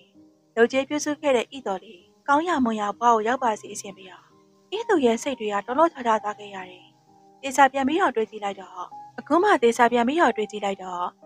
ဤသူဟာသားသမီးတယောက်အမားတယောက်အနေနဲ့တာဝန်ကျေဖို့မပြောနဲ့။အမေနဲ့ဤတော်တို့ကိုလည်းတခြားလုံးတစ်လုံးတော့မှဝယ်ချစ်ခဲ့တာမျိုးမရှိခဲ့ပါဘူး။ဤသူအတော်ကြီးနဲ့အတူမနေချင်တော့ပါဘူး။အတော်ကြီးကိုမြင်ရတိုင်းရှက်မိပါတယ်။အတော်ကြီးစီကဤတော်ရဲ့တီးတဲ့လိမ်မာမှုတွေကိုကြားရတိုင်းစိတ်မသက်မသာဖြစ်ရတယ်။ အတော်ကြီးနဲ့ရပိုင်းလောက်အတူနေရတာတော့မရဲကြသလိုခံစားရတယ်။ရေချေအတူနေဖို့ကမဖြစ်နိုင်ဘူးလေ။အခုအတော်ကြီးကလည်းမလာတော့ဘူးတဲ့။ပြောလိုက်တာ။ဤသူအလုံးမသွားပဲအိမ်မှာပဲနေခဲ့တယ်။တငယ်ချင်းတွေလာတော့နည်းနည်းပြောက်သလိုရှိပြီးစပိုင်တွေတော့ကြမှုကြနဲ့နောက်တည့်ရတငယ်ချင်းတွေပြန်တော့ဤသူညနေပဲအပြင်ထွက်ချိန်မှာအဲ့ဒါဤတော်ရဲ့အမှားအမှားဆိုရတယ်ဟုတ်လားမထင်ရဘူးနော်အမေတယောက်လုံးနေမကောင်းဖြစ်ပြီးတော့အိမ်ရထဲမှာလဲနေတာ တစ်ချက်တောင်မှလာကြည့်ပေါ်မရဘူးဘယ်လာကြည့်မလဲဟောနေရလေသူတို့ညီမစကားများတော့ကြားလိုက်တယ်အကောင်တကောင်ရှာရသမျှပေးနေတာတယ်အဲ့မှာရဲ့ဟဲ့အမေကိုများပြစ်ထားပြီးတော့များကျမတော့လေညီမပေါ်တည်တတ်တဲ့ဤတော်တို့သမီးပဲလို့ခြင်းတယ်အဲ့ဒါမှဖာပြစ်လဲဟင်းညိုတော့ရတယ်ဆိုတာမျိုးပေါ့ဟုတ်တယ်ဟုတ်တယ်အခုလည်းကြည့်တကယ်ဖာလောက်စားတဲ့သူဟာအိန္ဒြေတိတ်ခါစီးနဲ့လူလေးစားအောင်နေတတ်တယ်သူ့မှာတော့မနေညသူတငယ်ချင်းဆိုတဲ့ဟာတွေနဲ့ ငူယူအဟင်းနေကြတာလေစိတ်ပြက်စရာကြီးအမျိုးသမီးနှစ်ယောက်ပြောနေကြတာကိုကြားပေမဲ့တမပြက်ပဲလမ်းလျှောက်လာခဲ့ပါတယ်အိမ်စင်အိမ်စင်ဝင်ခဲ့မယ်ဟဲကိုကိုဒါလေးဝင်ခဲ့လေအိမ်စင်အရာအမျိုးသမီးကလှမ်းကြည့်နေတာမြင်ပေမဲ့ရုံမဆိုင်ပဲနေလိုက်ပါတယ်သူကပြောတယ်သတိရလိုက်တာဤရဲ့ဤသူကိုတိုင်းဖက်ပြီးတော့အနမ်းမောက်ရရင်အိမ်ကန်းထဲကိုဝင်ခဲ့ကြတယ်ပဝင်းစီကဘာပဲပြောပြော ဤသူကရုံမဆိုင်ပါဘူးသူနဲ့လက်ထပ်ပြီးဤသူဒီနေရာကနေထွက်သွားမယ်ဤသူရဲ့အိမ်မှာတငယ်ချင်းတယောက်ကိုအတူလာနေဖို့ခေါ်ထားပြီးအလုပ်ပြန်စင်းနေသူကလည်းဤသူစီကိုတပတ်တစ်ခါပုံမှန်လာနေရင်ကတလားဆိုတဲ့ဒီမလာတော့စိတ်ပူပြီးတော့သူ့လို့ရှိရဲ့နေရာကိုဤသူကလိုက်သွားခဲ့တယ်သူ့ကိုခဝေးဝဲကနှမ်းမြင်နေရပြီးအမျိုးသမီးတယောက်နဲ့အခြေတင်စကားပြောနေပုံကိုတွေ့ရတယ်။အမျိုးသမီးကဣသူကိုကြောက်ပေးထားပြီးသူကဣသူနဲ့မနေ့ချင်းဆိုင်နေထားမှရှိပါတယ်။ သူဣသူကိုတွေ့သွားခဲ့တယ်။အမျိုးသမီးနဲ့စကားပြောမပြတ်ခဲ့ဘူး။တော်တော်ကြာတဲ့အခါမှာသူလို့ရှိမှကားတစ်စီးကရက်သွားခဲ့တယ်မျိုးသမီးကိုသူကကားတကားဖွင့်ပေးပြီးကားထပ်သွားပြီးတော့တော်တော်ကြာတဲ့အထိတက်တာပြနေခဲ့တယ်။ဤသူစိတ်ထဲမှာတမျိုးကြီးဖြစ်သွားခဲ့တယ်။သူကဤသူစီကိုအပြင်းလာတာကိုတွေ့ရတော့သူ့ကိုစောင့်နေလိုက်တယ်။သူကပြောတယ်။အေးလာစပုံးနဲ့ဘာဖြစ်လို့လဲ။ကိုကိုမှန်မှန်ပြော။ဆွဆွမိမကဘာတူလဲ။ သူမျက်နှာပြတ်သွားခဲ့တယ်။ဤသူတန်တရားဖြစ်ပြီးတော့ကိုကိုသူကဘာတူလဲ။နောက်ပြီးတော့အစ်စီကိုဘာလို့မလာတော့တာလဲ။မင်းနေရလေ။ तू ကဘာတူလဲလို့။ तू စိတ်ရှောက်နေတဲ့ပုံနဲ့ကားစပင်တွေကိုထုတ်ဖနေတယ်။တော်တော်ကြာတဲ့အခါမှာအေးစိတ်မဆိုးပါနဲ့နော်။ဘာပြောတယ်ကိုကိုစိတ်မဆိုးနဲ့ဟုတ်လား။ဟုတ်တယ်အေး။အဲ့ဒီမိမကကိုကိုရဲ့အထက်လူကြီးလေ။ဟိုတလောကကိုကိုကြောင့်လေ ဆောရှောက်မှုတစ်ခုဖြစ်သွားခဲ့တယ်။အဲ့ဒါကိုကိုမရောနိုင်ရင်ကိုကိုထောင်ကြမှာ။ဘလားမို့လဲကိုကိုရဲ့30ကျော်တယ်အေးရဲ့ကို့မှာမရှိအပူနဲ့တော့ကိုကိုအေးချကြည့်မယ်မလောက်ပါနဲ့အေးရဲ့ကိုကိုအေးကိုအပူမပေးချင်ဘူးအပူပေးတာမဟုတ်ပါဘူးကိုကိုရဲ့ဟုတ်တယ်လေသူအလုပ်ပြောလို့မဖြစ်ဘူးအေးသူကိုအပူမပေးချင်လို့သူ့ဘာသာကြက်ပြီးတော့ပြင်ဆင်နေစားတာသူ့ကိုနှစ်သိမ့်ပေးပြီးတော့ပြန်လာခဲ့လိုက်တယ်မဟုတ်သေးပါဘူးအေးသူရဲ့ ငါတော့မဖြစ်နိုင်ဘူးလို့ထင်နေတော့သူကငါ့ကိုလိမ်မလားငါတကယ်တွေ့လိုက်တာအဲ့ဒီအမျိုးသမီးကိုလေ။ तू ကခခရကိုတောင်းပန်နေတာ။သူတို့ဘာတွေပြောလဲနေကြလို့လား။မကြားပေမဲ့ငါပြောမယ်နော်။ငါထင်တော့ तू ကလေနင့်ကိုလိမ့်နေတာလို့ပဲထင်တယ်။နင်သေးချောင်းသူ့ကုမ္ပဏီမှာသွားပြီးတော့စုံစမ်းကြည့်ပါလား။ငါအဲ့လိုမလုပ်ချင်ဘူး။ तू နဲ့ငါတွဲလာတာနှစ်ကမနေတော့ဘူး။ तू ကငါ့ကိုယုံကြည်ပေးတယ်လို့ငါကလည်းသူ့ကိုယုံကြည်ပေးရမယ်။ ထားပါတော့အဲ့ဒါတပိုင်း။အခုနေရာဒီချမ်းကိုပေါင်မဲဆိုတော့ပြန်စင်းစားဖို့လိုရဲ့နော်။ဒီချမ်းမိဘမွေဆိုလဲဟုတ်တယ်။ညီညမရဲ့ပေးဆက်မှုဆိုလဲဟုတ်တယ်။နင်တေချာစဉ်းစားဖို့ငါပြောနေတာ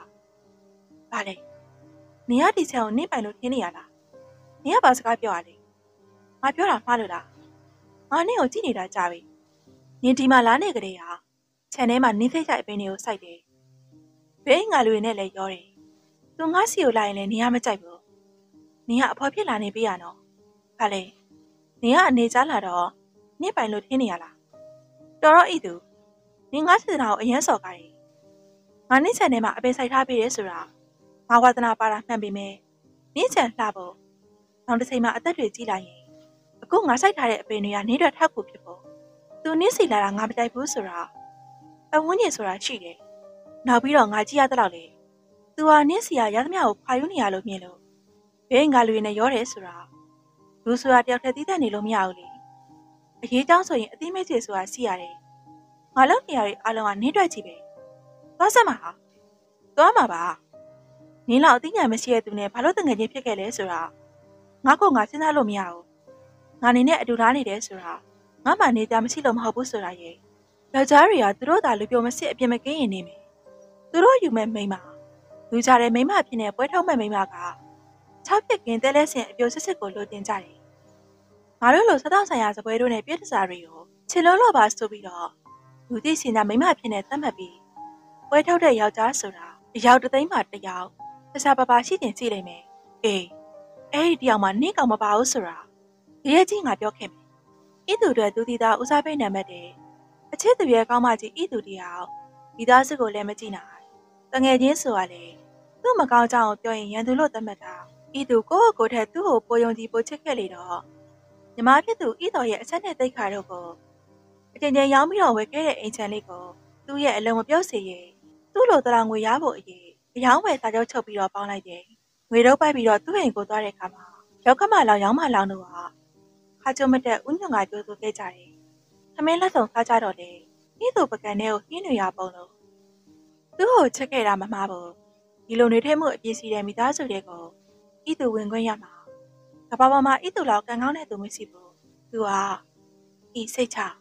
ကိုကိုပြန်ရွေးပေးမယ်နော်။သိလား။မလိုပါဘူးကိုကိုရဲ့ချစ်သူတွေပဲကိုပြောစီရလား။ပုံမှန်အလုပ်လုပ်ရင်သူကလည်းချမ်းမြန်ရွေးပေးနိုင်ဖို့ကြိုးစားမယ်ဆိုပြီးဤသူစီကိုမလာတော့ဘူး။တလကုံသွားတယ်။သူရောက်မလာခဲ့ဘူး။နှစ်လသုံးလဟုတ်သေးဘူး။ အတိုးကိုဤသူပေးနေတယ်။သူဤသူစီကိုဘာလို့မလာတာလဲ။သူ့အိမ်ကိုလိုက်သွားလိုက်တယ်။ရင်တစ်ခါလာတော့ချန်ချင်းမှရက်နေတဲ့ဤသူကိုညီနာနဲ့အပြည့်စင်းကြိုလိုက်ကြတဲ့သူတွေဟာအခုတော့အိမ်ဘောကနေမစင်မေ။ဘဘာကိစ္စလဲကိုကိုရောဒီမှာမနေတော့ဘူးသူမိမအိမ်မှာလိုက်နေတယ်ရှင်ဘာပြောတာရှိသေးတယ်မစင်ကြော့ဟိုခဏခဏလေးပါအမေရဲ့ငါ့ကိုအမေလို့မခေါ်နဲ့ ကိုကိုကသူမိမအိမ်မှာနေတယ်ဆိုတော့သူကဘယ်တော့မှမိမယူလိုက်တာလဲယင်ပြီးခဲ့တဲ့လကပဲယူလိုက်တာလေတော်တို့ကဘာလို့ခွင့်ပြုလိုက်တာလဲ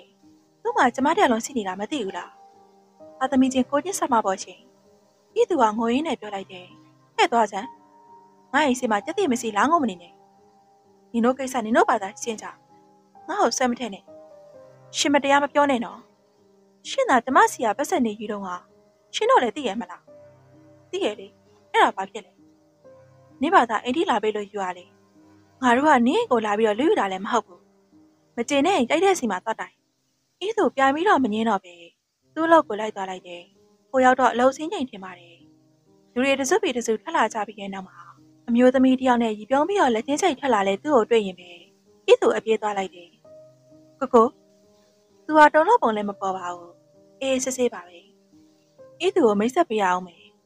ဒါကိုယ့်ရဲ့အမျိုးသမီးလေးစိန်ချဲတဲ့ချဲဒါကိုကိုပြောရတဲ့တရားလေမျိုးသမီးကအတိမတ်ပြည့်ရဲဆိုရုံမျှကောင်းချင်းပြလိုက်တယ်ပြီးတော့ခြေသားနေမယ်ကိုကိုဂျိုင်းမသောက်ချင်ဘူးနော်စိန်ရဲဆိုတဲ့အမျိုးသမီးထွက်သွားတော့မှအေးသူရဲ့လက်ကိုခက်ကြံဆွဲကင်ပြီးခြေလန်းကျဲကြီးနဲ့လူချင်းတဲ့နေရာကိုဆွဲခေါ်သွားလိုက်တယ်တစ်ပင်ကြီးတစ်ပင်ရဲ့နားကိုအရောက်မှာအေးသူရဲ့လက်ကိုဆောင်းလွှတ်ချလိုက်ပြီးမင်းဘာလို့ငါ့လက်ကိုလိုက်လာတာလဲကိုကိုဒီကိုဘာလို့မင်းနဲ့ငါနဲ့ပြောနေရလဲ ပြောတော့ဘာဖြစ်လဲကိုကိုဘာလဲကိုနဲ့အီးကနှစ်ပေါင်းများစွာချစ်ခဲ့ကြတဲ့သူတွေပါနေမရလို့နေခဲ့ကြတဲ့သူတွေပါကိုကိုကြောင်းတက်နိုင်ဖို့အလုပ်ရဖို့အီးကအများကြီးကူညီထောက်ပံ့ပေးခဲ့တာပါအခုကိုကိုကနောက်မှတွေ့တဲ့မိမကိုရွေးတယ်အီးတော့မသိဘူးလက်ထပ်ပြီးတော့ယူလိုက်တယ်အဲ့ဒါဘာသဘောလဲဘာသဘောလဲကိုကိုပြောပါဦးအီးသူကသူ့ရင်ဘက်ကိုရိုက်ပြီးတော့မေးလိုက်ပါတယ်ဘယ်လိုဖြစ်နေရလဲပြောမယ်ပြောမယ် ငါနဲ့လို့စတော့ဆိုင်ရာစပွဲတို့ကိုမယူနိုင်ဘူးငါရဲ့လက်စီနေထားနေတင့်တော်တဲ့မိမကိုပဲငါယူခဲ့တာအဲ့ဒါဘာဖြစ်လဲကိုကိုနေနေပါစကားကိုပြောလိုက်တာလေနင်ပြောတော့ငါ့ကိုနေဟာအရာကိုစိတ်ကူးရင်တာပဲနော်မှတ်ထားစေကန်တသာဆင်နွဲလာကိုသဘောကျပြီးတော့မိပြားမြောက်တာပုံမြင်နဲ့ရမင်းသားပဲစီတယ်လက်တွေ့ဘွားမှာဘယ်မင်းသားကမှသူ့အတွက်အထောက်ပံ့မဖြစ်ပွဲတက်မတင်တဲ့မိမကိုမိပြားမမြောက်ဘူး နေဟာငါ့ကိုထောက်ပံ့ပေးခဲ့တယ်ဆိုတာလေအကျိုးလိုလိုညောင်ရီလောင်းတာပဲလေအဲ့ဒီအတွက်ငါဘက်ကလည်းတက္ကသိုလ်ကျောင်းသားတယောက်ဖြစ်ပြီးတော့စားတော့ဆိုင်ရာမင်းကလေးနဲ့တွေ့နေတယ်။လူမန်နေဂျာဖြစ်ပြီးစားတော့ဆိုင်ရာမင်းကလေးနဲ့တွေ့နေတယ်ဆိုတဲ့သိခါတွေအားလုံးငါပေးခဲ့ပြီးပြီ။အခုနေလဲနေလန်းကိုနေချောင်းငါလည်းငါလန်းကိုငါလျှောက်ပြီ။နေလူရောက်မှာပဲငါပတ်စံတွေပြန်ပြီ။ဒါကတော့နင်းမသားငါ့ကိုအိမ်ထိလာပေးရလေ။လက်ဖွဲ့တယ်လို့သဘောထားလိုက်ပေါ့။ မယုံကြည်နိုင်စရာကောင်းလာအောင်ပဲ။သူကတခြားသူတယောက်ဖြစ်သွားခဲ့တယ်။ဤသူရဲ့နှလုံးသားကိုအစင်နဲ့လက်ထောက်ယူချေမနေသလိုခံစားရတယ်။သူကတော့ဤသူကိုကြောက်ခိုင်းပြီးတော့ထောက်ခါသွားခဲ့ပြီ။မချေနဲ့ဘူး။ဘုံကမချေနဲ့ဘူး။သူ့ကိုရဲတိုင်မယ်။တရားဆွဲမယ်။ထောင်ကြအောင်လုပ်မယ်။လူဝဲချင်းချင်းလှက်ပတ်ချင်းအေးရှင်းကြပါစေ။စင်းရဲလိုချင်းအချင်းချင်းအေးရှင်းကြပါစေ။အထင်သေးချင်းအချင်းချင်းအေးရှင်းကြပါစေ။ခလင်းငယ်တယောက်ရဲ့မေတ္တာပို့တံကိုကြားတော့မှပဲ။ ရက်ွက်ထဲကိုပြန်ရောက်နေတာသိလိုက်ရတယ်။စိမ့်တဲ့လူနဲ့မကတော့ဘယ်ကနေဘလို့ပြန်လာမှန်းလဲကိုယ့်ကိုယ်တတိမထားမိလိုက်ဘူးအတန်ပိုင်ရှင်ကလေးငယ်ကိုလှမ်းကြည့်လိုက်တော့စောင်းလေးကိုကြည့်ပြီးစာကြက်သလိုကောင်းတဲ့ငိမ့်ငိမ့်နဲ့မြစ်တာပို့ဆွနေခဲ့တယ်မျက်မုံရေကစားကြမယ်ဟဲ့ငါမအားဘူးဖျားစာကြက်နေတယ်အိုးဤသူရဲ့အုံနောက်အယုံထဲမှာဖြက်ကနေငရပုံရိပ်တွေပေါ်လာခဲ့တယ်ဤတော်ကစာကိုကြိုးစားပန်းသားကြက်နေချိန်မှာ ဤသူနဲ့တငယ်ချင်းတွေဟာလမ်းမပေါ်မှာပြေးလာကစားနေခဲ့ကြတယ်။ဤသူနဲ့တို့တငယ်ချင်းတွေဟာဤတော်ရေဒါလေကစားရအောင်ငါမအောင်စာချက်နေတာနောက်မှချက်ဟာငါတို့ထောစီတိုးတန်းကစားဖို့လူလိုနေရမရဘူးငါကြီးလိုက်ရင်ဆရာဝန်မကြီးလုံမှာဆရာဝန်ကြီးကစာတော်မဖြစ်တာတဲ့အဲ့ဒါကြောင့်မလို့ငါကြိုးစားမှဖြစ်မှာဩဆရာဝန်မကြီးဖြစ်နေတဲ့ငါညမလေးဆယ်တန်းထိတောင်ကြောင်မတက်ခဲ့ရရှာပေါ့ ဤသူပထမဆုံးချိန်ညီမဖြစ်သူဤတော်ကိုစာနာတနာစိတ်ဝင်လာခဲ့မိတယ်အိမ်ပြန်ရောက်တော့ရှုပ်ပွားနေတဲ့အိမ်ကိုကြည့်ပြီးငါ့အိမ်လည်းတန်စင်းမလောက်တာကြတော့ပြတ်တိုက်ဖြစ်နေပြီချင်းအောင်မှာပါတိမ်လုံးကိုတန်စင်းလောက်ရင်းနဲ့ဤတော်တက်တာအောက်ကိုချင်းတဲ့ခါမှာဗလာဆောင်ရွက်တွေ့ရမှာမဆွဲတဲ့ဆွဲတဲ့နဲ့ဆွဲထားတဲ့စတုံးနဲ့ဆရာဝန်မင်းကလေးတယောက်ပုံကိုတွေ့ရတယ်။အမလေးဣတော်ရဲ့ငါ့ဟိုသာလာခေါ်ပါတော့ငါလောက်မိုက်မဲတဲ့သူဒီကဘာမှမရှိတော့ပါဘူး မရှိတော့ပါဘူးဟဲ့ငါလေငါအတုံးမကြတဲ့မိန်းမယူနေတဲ့ကောင်မပါဟဲ့နေရတော့ငါ့ကိုမျောလင်းချက်တွေအများကြီးထားခဲ့တာ哦ငါအရင်မပါတဲ့အချစ်ဆိုတာကြီးကိုအဟုတ်မှတ်ပြီးယူချင်တိုင်းယူခဲ့တာခုတော့နေခက်ကဲစူဆောင်းဝဲကိုခဲ့တဲ့ချန်ကိုစုံရတော့မယ်ဟဲ့ငါတောင်းပန်ပါတယ်ငါတကယ်ကိုတောင်းပန်ပါတယ်ဣတော်ရဲ့ဟုတ်တယ်နင်းကိုတရားဆက်မယ်ထောင်ချမယ်ဣသူသူ့ကိုတရားဆက်ဖို့ကြိုးစားခဲ့တယ် ရင်းနှီးသူတချို့နဲ့တိုင်းမိပြီးချစ်အနေနဲ့တွဲဆုံပြီးတော့ပြောကြတဲ့အခါမှာနှစ်ကြာတီလူမသိသူမသိအလိုတူနေခဲ့ပြီးကလေးပါဖြတ်ချခဲ့တာကြောင့်ကာမလိန်လည်းမှုမပြောင်းနိုင်ဘူးတဲ့လေဣသူကိုယ်တိုင်ငွေကိုသူ့အိမ်ထိသွားပေးခဲ့တာရဲ့ဣသူဘက်မှာအသီးသက်တွေတရားမှမရှိတာကြောင့်ငွေကြေးလိမ်လည်မှုဆိုပြီးတော့တရားဆက်ဖို့လေမဖြစ်နိုင်ပြန်မှုတဲ့လေမရမကအမှုဖွင့်ရင်လေသူ့နာမည်ပြည့်အောင်ကလွဲပြီးဘာမှမဖြစ်ဘူးတဲ့အခမ်းမသိရင်ဣသူကို တရေဖြတ်မှုနဲ့ပြန်ပြီးတော့တရားဆွဲနိုင်နေတယ်ခင်မင်သူတချို့ကရေစုံမြေစုံထိလိုက်ဖို့ငွေကြေးညာမတောင်းတဲ့ရင်အစာမလုပ်ဖို့တားခဲ့ကြတယ်ဣသူလည်းလက်ဆွဲလိုက်ရပါတယ်တခါသူ့ကိုတရားဆွဲဖို့ကြိုးစားနေချိန်မှာအလုပ်ကိုလည်းမသွားနိုင်တယ်လို့ချံမောင်ထားတာကိုအတိုးပေးဖို့ရက်လွန်နေတာမသိလိုက်ဘူးစိတ်ညစ်လုံးလုံးစောက်တီရမရဖြစ်ပြီးဆေးလိမ့်နဲ့ဘီယာကိုအဖော်ပြနေခဲ့တယ်အခုချိန်မှာဣသူရဲ့ပေးမှာတိုင်မင်မော်တငယ်ချင်းဆိုတာတယောက်မှမရှိတော့ဘူး ခင်မင်ရသူရင်းနှီးယုံကြည်ရသူရဲ့ဆိုပြီးကိုเจ้าနေကိုအကုန်စင်ပြောခဲ့မိတာအခုတော့ငါမာတာငါအသုံးမကျတာမိသားစုကိုဆွန့်လွတ်ခဲ့တယ်တငယ်ချင်းကောင်းကိုနှင်ထုတ်ခဲ့တယ်ဣသူရဲ့ဣသူလာပြီလာပြီမင်းကလေးဖြစ်ပြီးတော့အရက်နဲ့ကလည်းမှုန်းနေတာပဲစိတ်ညစ်လို့ပါညင်စိတ်ညစ်တာကိုနောက်ထားခြံအောင်ဘယ်လိုလုပ်မှာလဲကျမပြန်ယူမှာပါ